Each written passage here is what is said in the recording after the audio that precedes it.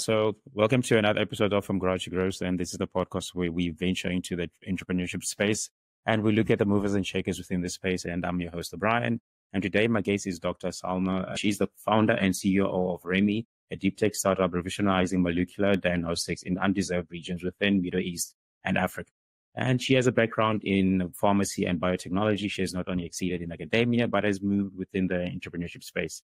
So to kind of get things started, I'd just like to give you the floor for you to introduce yourself and just tell us a little bit of who is Dr. Song. Thank you, O'Brien, for the introduction, which is uh, very kind words, actually. So, um, yeah. So, uh, as you indicated, so I started, uh, I started, I studied pharmacy as undergraduate studies, and then I pursued a master's and a PhD in Germany because I, I like research a lot. So, um, growing up in a developing country, when you like research, you start thinking that basic research is more of a luxury. Yes, it's very important. I don't want to be like misunderstood. But when you have a lot of pressing problems that are inherent to your region, you really want to use science in solving of these problems. So when I decided to study, I decided to go for applied science, especially one that would put a product on the table. So after completing my PhD in Germany, I then came back to Egypt because again, the main goal was to employ science in solving of our own problems. And uh, I joined academia, stayed in academia for, I would say, around eight years. Uh, this came with its own set of challenges. So, for example, uh, applying for grants in the EU, publications, and so forth was a lot easier just because I had German affiliation, for example, at the time. But the moment I moved back to Egypt, despite being the same person, it it become, I would say, at least 10 times harder because of the affiliation that came with being located in Africa. Yeah. Anyway, um, the game changer for me, honestly, was COVID. So uh, in Egypt, uh, at the start of the COVID pandemic, you could not really get tested for COVID. And I would say this extended uh, up until the second half of 2020. And when you could get tested for COVID, you would only do it in specific private locations where it was super expensive, or you had to queue in only one or two governmental locations and if you probably did not have COVID, you will catch COVID in the line because it was super crowded. Yeah. So the Egyptian government launched a, a request in uh, for the development of COVID diagnostics, and uh, honestly, I mustered up my courage and uh, was able to form like a local consortium of a couple of governmental hospitals, private labs, and we were able to deploy a test within nine months. Mm-hmm. But when we started developing the test, we did not just want to develop a test. We wanted to develop a test that was more affordable, that was available at point of care, that would actually be suited to where we are. Because if we developed a test that was expensive, that needed to be frozen, that needed complicated laboratories, this wouldn't work. So um, we set on and we and we did it for COVID. And honestly, this was the game changer for me. Um, yes, within the scope of academia, um, it provided some sort of a comfort zone for me to be able to pursue that. But academia comes with its own restrictions, especially in our region. So I decided to quit academia and found Reme-D. And at Reme-D, this is what we do, not just for COVID. We develop diagnostic tests that are specifically suited for use in low resource setting. Mm. So, so you, you spoke about your your initial uh, like conception of oh you were in the line and you saw that there's an issue that needs to be solved. What was that initial spark that you were like that motivated you to in terms of going, oh yes, this is a problem and I have the solution for it, and that is Remy.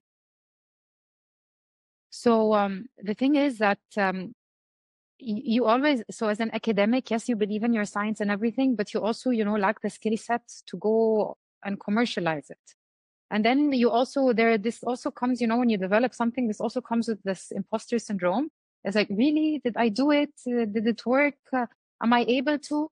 But then when we deployed this test, it was used by uh, one of the very big governmental hospitals. It was also used by the university where I worked in. And this, you know, gave me the confidence to actually, you know, believe in myself, believe that, yes, we can take science to another level and we can actually put a product on the table. Um, within the scope of academia, I honestly tried, you know, the concept of spin-offs is very popular in Europe. The concept of spin-offs is less popular, I would say, in Egypt. Um, universities come with very heavy admin, uh, with a lot of bureaucracy in decision making. Um, again, um, where I worked, it was a private university. It was not a public governmental university. And at the end of the day, they had to generate profits. And generating the profits came from undergraduate student teaching. So they prioritized teaching to research. And once you see that you can actually do something that helps people, you think it would be such a waste, just stay in my comfort zone and not try. Yes, it came with a big risk. I remember the university, uh, the faculty dean actually telling me that I was throwing my career away by actually quitting my academic position. But honestly, uh, you have to try. I mean, uh, if you don't take the risk, then you don't go anywhere. Yeah. So, so with Remy's uh, initial like mission or goal that you wanted to, to achieve on your website, you kind of cater to the notion of you want to create a better and healthier and cleaner future for all. So, how do you guys manifest this idea within the day to day operations of the business and when you make decisions? Okay. So, um, so as, as I mentioned earlier, we are mainly looking at underserved markets. So for the time being, Middle East and Africa, hopefully in the future, maybe Southeast Asia, Latin America, but the time being Middle East and Africa. And if we look at the region, I would say in terms of molecular diagnostics per se, which is like PCR tests, uh, sequencing, and similar techniques, unfortunately to date, no one is developing for the region or no one is manufacturing for the region. So big companies that come from the US or the EU, or uh, for price purposes, maybe China, uh, they deploy their tests that were developed for the developed world to function in the region. And because they were developed to function in the developed world, so they automatically are not optimally fitted to fit what the region needs. So, for, for instance, they are super expensive to start with. Uh, they mostly need to be frozen, which means that their shipping and transport becomes very complicated. And if you want to, you know, increase the accessibility of testing and make testing, for example, available in the small villages in Africa. You cannot have uh, a minus 80 freezer in every location. Also, the protocols are pretty long and they require, I would say, heavily equipped labs and they required highly trained personnel. And I'm not saying that Africa does not have skilled people. They do. They do have skilled people, but because of the limited opportunities, they opt to go elsewhere where they have better circumstances. And end of the results, when you look at the lab and the medical facilities, they are less staffed, they are less hmm. equipped, and they need something else. So when we decided to start developing our products, we wanted to target these issues. So we wanted our tests to be room temperature stable so that you can ship and store at room temperature. We wanted our testing protocols to be shorter. So in case that you have a limited amount of equipment, you can at least double or triple the productivity by using the equipment to a small, in a lesser, um, to reduce, uh, I would say, the time of the test. And uh, we also wanted to make the protocol simpler so that you uh, they are less labor intensive. And this is what we did. And today we have launched products for testing of hepatitis C, hepatitis B, HIV, tuberculosis. And we are recently going to launch a test for um, um, human papilloma virus infection with a specific focus on cervical cancer, because I would say that women's health is is a completely different story that we can maybe spend hours speaking about and how it is deprioritized especially anything related to gynecological health, because this comes with a set of, I would say, uh, preconceived taboos and yeah. stigma that you also need to fight uh, fight for. So this is what we are doing. We develop and deploy tests that are suited for our region, and with that, we aim to increase accessibility and affordability of testing. We are also firm believers of giving back. So we are planning a couple of screening campaigns that we are going to cover uh, and we are continuously also looking for like um, i would say international organizations who are willing to support such screening campaigns because as, as a startup we can only do it to a limited extent but i mean if we have more support we can extend the benefit that comes out of it hmm. so so you spoke about the initial struggle or the lack of belief that you, you yourself had but the lack of belief that people around you had in terms of when you, you wanted to do this jump uh, in the journey. And you spoke about the issues in terms of how Africa, with regards to receiving medicine and, and so on, there's so many other issues that you have to go through. So with regards to those initial challenges that you spoke about, how did you go about in terms of scaling Remy and how did you go about to the point where you felt confident around going, let me dive straight into this. Let me leave my academia and let me, this is something I want to work and this is an issue people need and let me go full on 100% with this idea? I, would say early believers uh, make a very big difference in that sense. So um, when we had the decision of actually, yes, we are going to leave academia and we're going to start Reme-D, you know, we needed someone else to believe in us so that we can believe in ourselves too. And um, at this point, uh, we started speaking to Oman Technology Fund. This is a VC firm in Oman. And we spoke to them about what we did with COVID and the ideas that we had for Reme-D. And they honestly believed in us and they deployed initial funding. And with this initial funding, you know, we said that if they believe in us, we have to believe in ourselves. If they give us their money, then we have to make this work.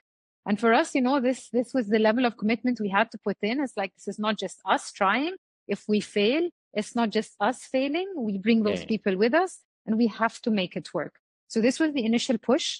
Um, we were then, I would say, very lucky in the sense that we won a couple of prizes. For example, there was this initiative called She's Next uh, by Visa and a local bank in Egypt, CIB. Uh, and this is um, a program that supports women or female led startups.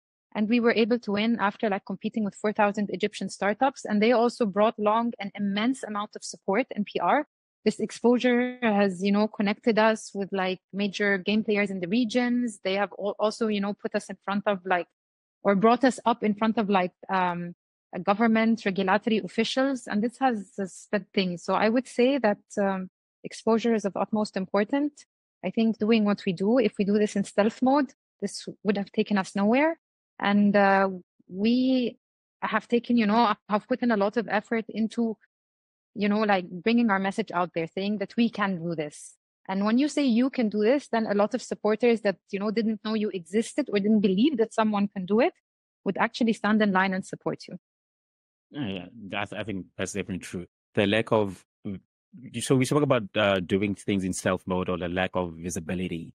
Do you feel that that has changed recently within the Egyptian ecosystem where there's more visibility being given to startups, especially we female led startups specifically? I, I would say that if I would start with the second part of the question, yes, within the past couple of, I mean, not couple, maybe like five or six years, there has been focus into like supporting women entrepreneurs. So a lot of programs are directed towards um, female founders in terms of supporting them, um, even on like the the emotional level, because you know, being a female founder, for example, I am a mother, I am a wife, and I have a family to take care of. My family is extremely supportive, and I would say that I am very lucky in that sense. But uh, you also need support. You also need other people to know the struggles. You also need other people to say it's okay. Yes, we know what you're going through and not to compare you to your male counterpart, for example, who does not have the same responsibilities that you have. So within that sense, the ecosystem in Egypt has evolved to support women. Uh, I would also say that for the past years, focus in Egypt has been on software, SaaS-based platforms. But uh, we, for two or three years now, we see an appetite for biotech. We see an appetite for companies that have like physical products. Because in healthcare, for example, yes, uh, I would say that like um, tele uh, telemedicine, e-commerce, and all of that is very important. But where does the product come from? If you don't have a product, an Egyptian product, an African product, a local product, then this means that all of these platforms are commercializing again imported products, which does not solve your problems. So uh, I would say that the Egyptian ecosystem is changing. Uh, mm. It is supporting female entrepreneurs, and recently, uh, they have developed an appetite for, I would say, riskier companies, such as those involved in the biotech area. Yeah, and I would just like to keep the conversation on Egyptian ecosystem. So recently in 2023, Egypt saw its first uh, unicorn. And so this kind of showcased the growth or within the, the, the ecosystem. Uh, in your in your take, what contrib- what's, what's been contributing to this uh, appetite within the Egyptian ecosystem with regards to focusing on tech specific, uh, building tech hubs within Egypt? So, uh, yes, like you mentioned, um, we had our first unicorn uh, last year. We also had a couple of very successful exits, even if they were not unicorns yet. And this, um, from an investment perspective, has built confidence in the ecosystem. So for Egypt, and I'm sure for a lot of countries in the region, we are plagued by currency devaluations, by a lot of economical instability. And this maybe would be a, little bit, you know, a lot of investors would shy away from it. But uh, when countries grow, despite that, it gives them a different level of resilience that, you know, if, if a company that has made it through in Egypt with all of the devaluations and economic circumstances, but now has a branch in the GCC, for example, or expanded to elsewhere, you know that this company will go a long way because of the resilience it has acquired. Um, the ecosystem has also grown in terms of there are a lot of acceleration product, uh, uh, sorry, uh, acceleration programs uh, that support entrepreneurs on different levels. And um, these programs also maybe some of them are government backed, some of them are on a private level, but they have also uh, they also have expanded their reach in terms of the distance they allow you to bridge has also become larger, and all of that has participated, you know, in Egypt booming in that sense. Yeah. And on that note, so a few years ago, I met with someone from Egypt. Uh, I think it was one from the ambassador. And we're talking about how Egypt is focusing on smart cities, especially within tier two uh, cities specifically. How is the creation of programs like the Create Creativa, uh, how is that aimed to foster innovation within, let's say, uni- public universities?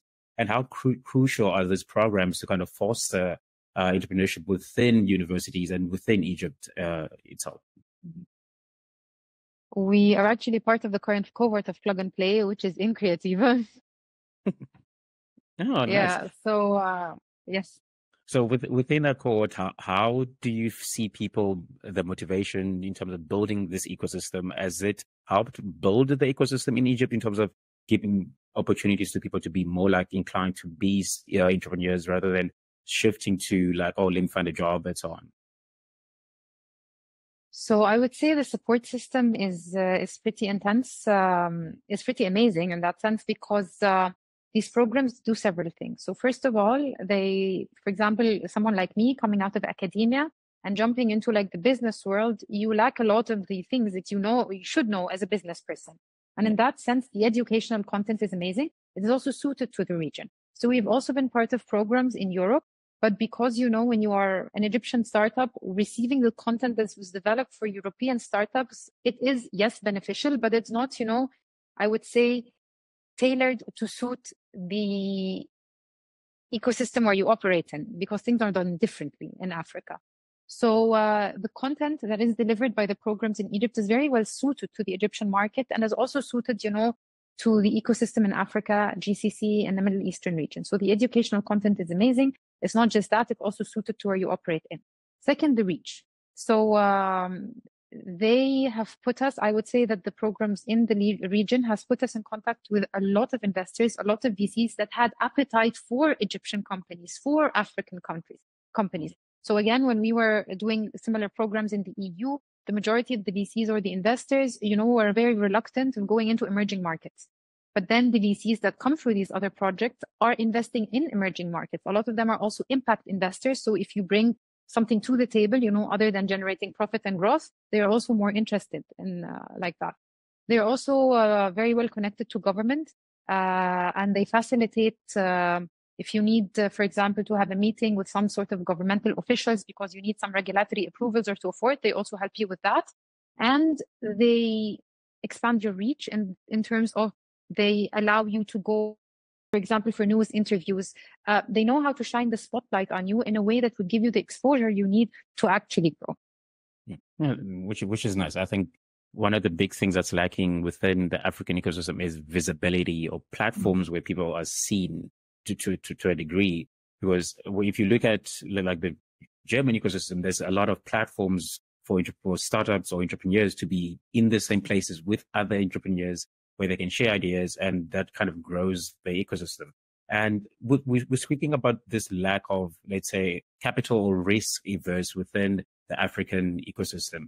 What significant barriers do you see within, let's say, Egypt that are still present with regards to securing funding that can be improved? And what initiative do you want to see within the environment, let's say, uh, venture capital being so risk averse within investing within Africa? So again, I would say yes, it's improving in, in terms that uh, not every VC now or every investor we speak to is looking for, um, uh, I would say, uh, a tech. Mm-hmm. Come on, I don't want to say tech-based program because we are tech. we use nanotechnology, we use biotechnology, and this is something that has been hurting my feelings because then we go into these interview and there's like, so what tech do you use? Uh, do you use AI? No, we don't use AI, but we also use tech. It's called biotechnology, for God's sake. Yeah. So, uh, yes, I would say that the conventional tech used to be the focus, the entire focus of actually, you know, being able to scale just, you know, by hiring more people and uh, having more like computers on the set. And this, this was a little bit limiting. But now there is an increased appetite for like biotech, manufacturing. And also one thing that I, I would really want to put out there. When we said manufacturing, a lot of the investors just jumped out of the window because when you say manufacturing, people you assume that you have a factory that is a thousand meters squared, that is asset heavy, and you need to sell a kidney to finance it.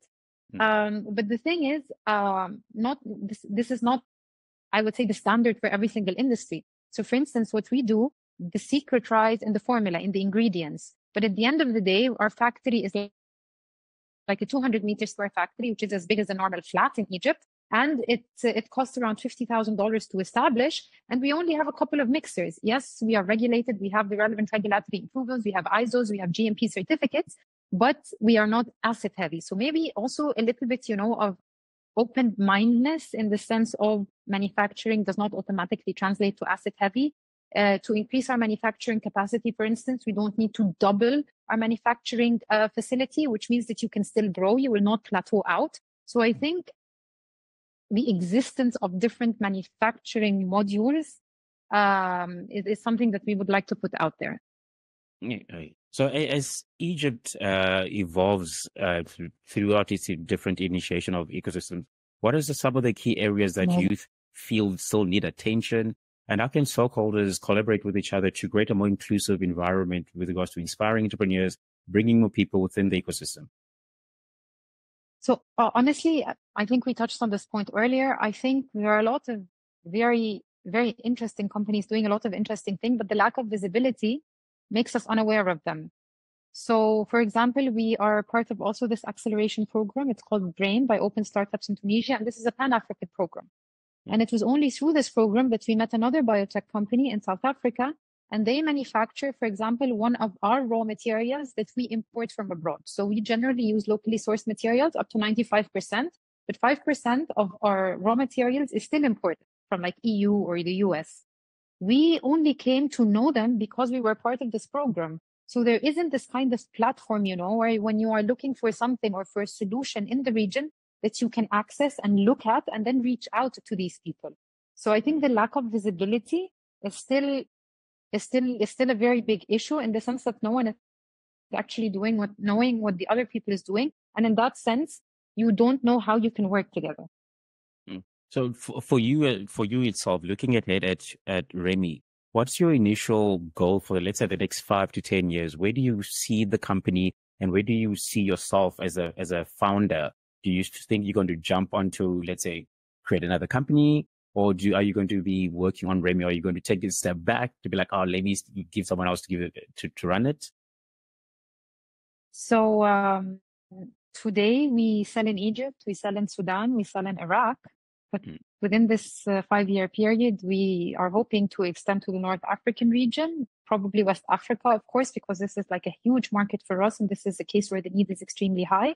Mm. For economic stability, we're also looking into a expansion into the GCC region. So within this five year period, we are looking into expansion so that we can have like major presence within the Middle East and African region. Once we are there, I do not see myself felt like exiting and enjoying my time on the beach. I uh, I see myself taking on another challenge. Hmm. So um, what we decided to do now when we started developing our tests, we did not want to invent the wheel. We wanted to see what tests are out there, why are they not suited for a region, and just develop the technology that made them suited for a region so that we can deploy these tests. This doesn't mean that doesn't mean that we are incapable of producing novel tests that do not exist. They just come with a lot of risk. They come with a lot of, I would say, R&D cost that we are unable to bear at the moment. So first five years, we look at expansion Middle East and Africa. Second five years, we look into deploying new tests that are not out there, like novel testing. And uh, we would, yes, deploy them also in the region, but this would also give us a market entry into the EU, for example. Mm, nice. That, that's, that's safety goals. So at the beginning of the conversation, we, we spoke about COVID-19 and I just want to touch on how the pandemic to, to a degree kind of opened the eyes in terms of how Africa is restricted, uh, in terms of the vaccine apartheid, as, as it was dubbed during that time, and how as Africa to a degree was held ransom by big pharma and overcharged for COVID vaccine. So looking looking at that time, uh, with like wealthier nations uh, monopolizing this supply of COVID, COVID vaccines, Africa in particular faced significant challenges in, in acquiring affordable vaccines. And as, as Africa consumes, let's say, 25% of the global vaccine and only produces 1%, uh, how could you kind of elaborate and see how these inequalities are kind of affecting Africa? And how can Africa become independent from big pharma and Western uh, countries? I would say self sufficiency. This has to be the way. So um, there are a lot of a lot of initiatives for technology transfer. For example, this mRNA technology hub that has happened in South Africa is also facilitating things. Mm-hmm. But um, again, um, yes, technology transfer is important and all of that, but we don't need technology transfer. We can also create our own technology. Africa has brilliant scientists, brilliant scientists, not just in the biotech area, in a lot of areas. It's just because of the lack of opportunities and because when you compare career options in Africa or if we go to the US or the EU, people are moving out and this results in a brain drain in the region. So I would say that moving forward, uh, self-sufficiency has to be the way. Yes, technology transfer is an initial step, but uh, some sort of empowerment uh, for African scientists, maybe somehow creating the opportunities, creating, um, I would say, the comfortable environment for them to stay and solve their own problems. Are I don't think that African problems are going to be solved by you know just transferring a technology that is developed for the US because the problems are different, the circumstances are different. Yes, it's a good starting point. I don't want to be misunderstood, but we have to start um, producing our own materials. And within the pharma industry, if you look at pharma in specifically, it you have a lot of pharmaceutical manufacturers in Africa, but I would say how many of them are actually creating the API, the actual active pharmaceutical ingredient. I would say close to none. And in that sense, this means that even if the pharma companies in Egypt are in, in Africa are progressing, they still need to import the active pharmaceutical ingredient from abroad, the one that actually treats this. So why aren't we looking at like localizing the entire process? Yes, it's harder. Yes, it's a stretch. Yes, it probably needs a lot of governmental financing and support. But I would say this is the only way of moving forward. And, and you spoke about uh, build, uh, building or producing African centric products. Do you feel there's a mistrust within Africa itself or within the African community with regards to African centric products? Because with the founders that I've spoken with, they feel like if even if you bring, let's say you, you, you produce a product and it's African build and you give it to them and they're like, oh, it's, it's from Africa, but then they'll buy or any product, the same product, but from Western uh, uh, companies. They'll either buy that, but they'll shy away from the African centric build product. I completely agree. And this is what we touched on in the beginning. I mean, even like an academic for grants and for publications. The moment I stopped using my German affiliation, uh, the rate of paper acceptance was reduced, the rate of the ability to acquire funding was reduced because automatically you come with the prejudice of, you know, being less credible.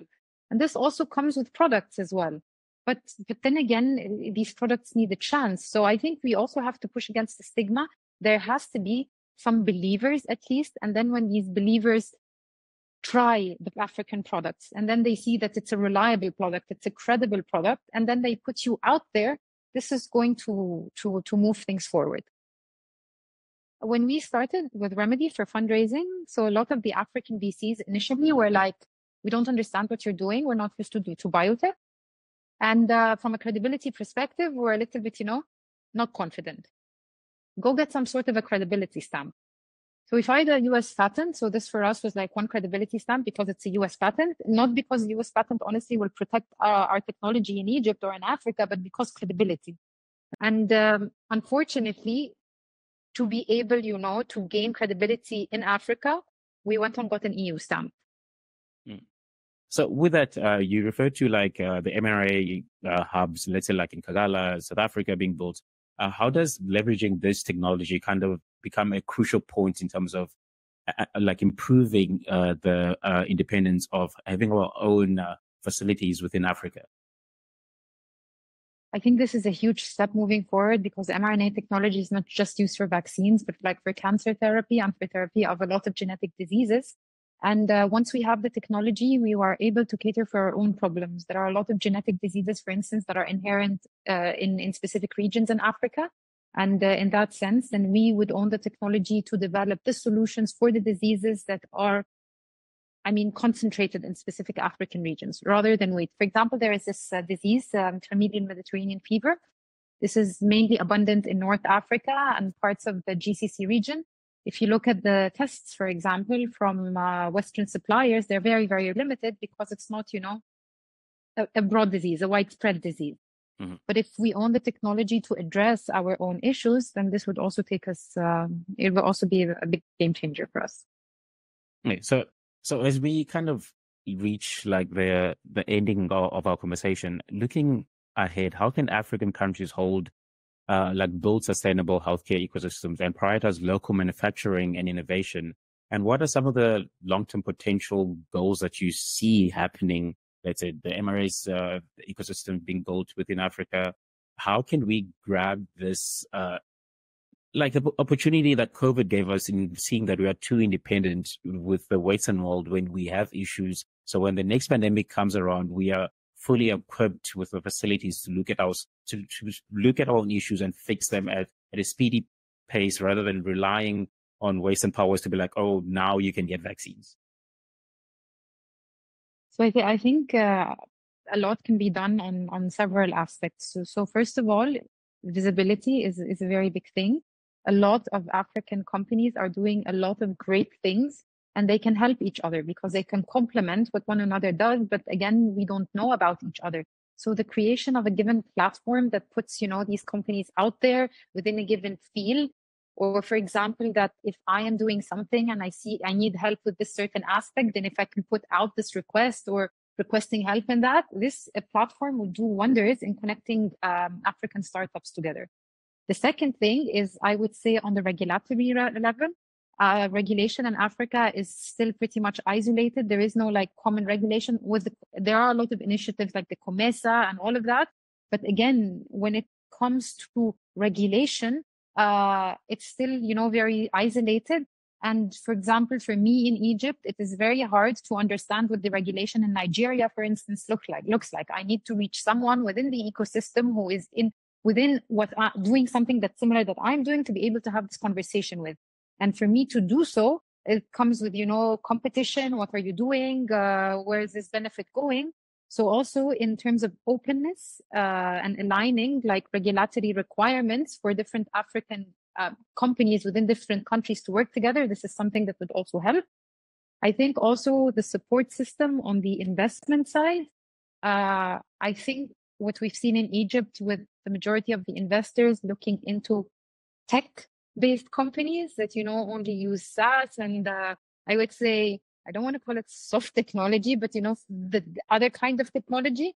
Mm. But, um, but education in the sense of the potential, not just in bringing good and impact, but also the financial potential that can come out from companies that are building products and the appetite for investment in such companies would also go a long way because yes if you connect the companies if you ease the regulation but if you don't you know finance these companies how are they going to work mm, yeah that's true so this is generally the question that i, ask everyone before uh, uh, end of the podcast and it's in terms of what advice would you give to inspiring entrepreneurs that are looking at the ecosystem they're looking in africa they're like oh i have a great idea I don't know what to do. How? What advice would you offer to to, to those individuals? I would say resilient. Don't take the easy way out. You are going to fall head first in a lot of mud, but uh, you have to, you know, like wash your face and move on. Mm. It's uh, it's very challenging, very very challenging, but I would say that it's also very rewarding. So I think resilience is and believe in yourself yes, we always, we don't necessarily always believe in ourselves. Uh, a lot of the days when I wake up in the morning, I really, really feel like an imposter. I'm like, what am I doing? I'm an academic. I should just be, you know, like teaching my students and publishing papers. But then when you get good feedback, when you see that your products are used, when you see that you can actually help people, it's actually like, no, um, um, I can do it. So if I can do it, then other people can do it. I'm not special. It's just, you know, you just put the effort and you try and you do your best. Hmm, yeah, that's great advice. And uh, if people want to reach out to you, where can they find you? If investors want to reach out to you, where, where do they find you? So LinkedIn, our website, and uh, I I can put my contacts uh, anywhere, and I'm I'm happy to speak to anyone. okay, great. Uh, so yeah, that is it from us, and uh, look us up in the next episode.